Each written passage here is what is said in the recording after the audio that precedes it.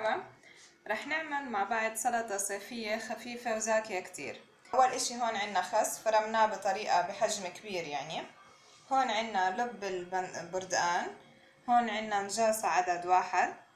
وعنا هون 200 جرام جبنة شدر.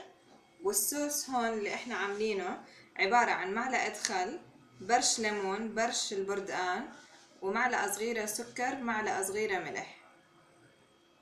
وشوي ونص عصير ليمون. هلا أول إشي بندير البردقان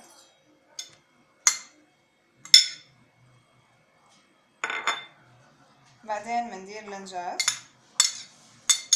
بنقلبهم مع بعض.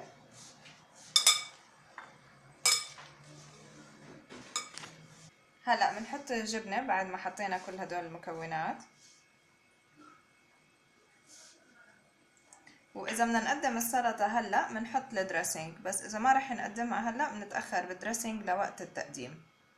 إن شاء الله تحبوا السلطة كتير زاكية. صحتين وعافية. ما تنسوا تعملوا لنا like و subscribe صحتين وعافية.